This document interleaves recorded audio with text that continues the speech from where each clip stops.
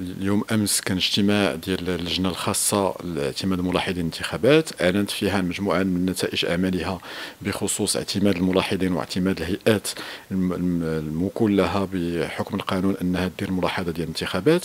لكن باش نفهموا السياق لازم نرجعوا لبداية عملية الملاحظة الانتخابات في المغرب. بدأت عملية الملاحظة الانتخابات في المغرب في 1997 ثم في 2002 تم تأسيس ائتلاف يضم عدة جمعيات وشبكات لرصد وملاحظة الانتخابات. سنة 2005 الجمعية العامة للأمم المتحدة اعتمدت آه، يعني معايير دولية للملاحظة المستقلة والمحايدة للانتخابات ثم في سنة 2011 الدستور المغربي كرس ممارسة الملاحظة وصدر من بعد منه القانون 3011 اللي كينظم هذه العملية.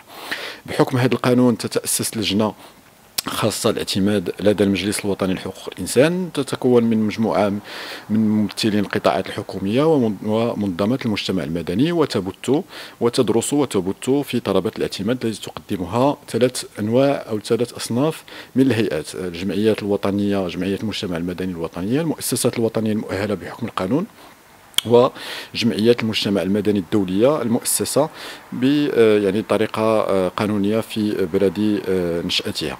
اذا هذا هو السياق العام. اللجنة درست العديد من الملفات العديد من الطلبات. أعطت الاعتماد لازيد من 44 جمعية وطنية.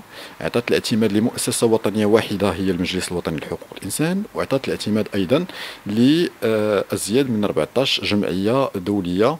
في المجموع آه، هناك آه، لحد الآن طلب تم البث الاعتماد في ازيد من 4500 ملاحظه وملاحظ سيتم يعني انتشارهم على جميع التراب الوطني من أجل آه، ممارسة الملاحظه المحايدة والمستقلة للانتخابات. طبعا القانون ينظم هذه العملية هذه ديال الملاحظه وهي تختلف عن المتابعة الصحفية أو عن عملية المراقبة التي يمكن للهيئات السياسية والمترشحين المترشحين أن يوكلوها إلى ممثلهم من أجل متابعة يعني العملية بشكل حاد الملاحظة المستقلة والمحايدة للانتخابات دورها هي الملاحظة يعني المعاينة الميدانية. لسير العملية الانتخابية ما قبل الحملة في الحملة يوم الاقتراع ثم ما بعد الاقتراع. وتدوين كل الملاحظات والمعاينات في آه، في في تقارير. يجب أن تصدر عن هذه الهيئات عند انتهاء أو بعد آه، إعلان نتائج ديال الانتخابات. كيف كتعرفوا هذه السنة هذه المغرب سينظم ثلاث انتخابات ثلاث استحقاقات في يوم واحد. عملية صعبة فبالتالي عملية الملاحظة هي أيضا عملية آه، ماشي سهلة.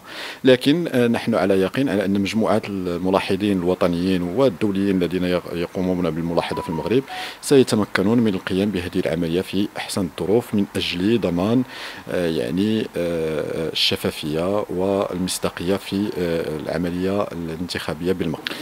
الملاحظ لا يتدخل بحسب القانون هو يلتزم بأنه لا يتدخل في العملية لا يعلق لا يتكلم دوره فقط هو تدوين يعني ما عاينه على المستوى سواء على مستوى الحملة أو على مستوى يوم الاقتراع ثم الهيئة التي ينتمي إليها يمكن أنها تجمع المعطيات تقوم بدراسة قانونية يعني الإطار القانوني ديال الانتخابات ثم تصدر ملاحظاتها وتوصياتها في تقرير تبعثه إلى اللجنة الخاصة وإلى السلطات المعنية بتنظيم اللجنة الخاصة اللجنة الخاصة ليس من دورها أن تصدر تقارير هي فقط تقوم بتجميع التقارير تنظم العملية الملاحظة تقوم يعني بعملية تتبع للملاحظين. يمكن لها أن يعني هناك ميثاق آه، للملاحظة. وقعه كل الملاحظات والملاحظين الذين تم اعتمادهم.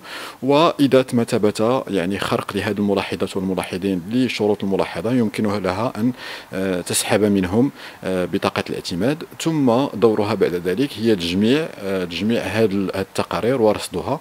المجلس الوطني لحقوق الإنسان ورئيسته تترأس هذه اللجنة بحكم القانون أنشأ موقعا إلكترونيا خاصا بهذه الملاحظة. وسيتم يعني في هذا الموقع تثبيت جميع التقارير التي تصدرها الهيئات الوطنية والدولية في هذا الباب. قبل ما تخرجوا ما تنساوش تابوناو في 20 فبراير وتابعونا على المواقع التواصل الاجتماعي